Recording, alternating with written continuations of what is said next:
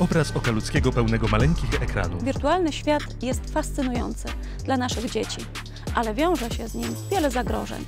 To nasza odpowiedzialność, aby dzieci znały ryzyko i mogły się bronić.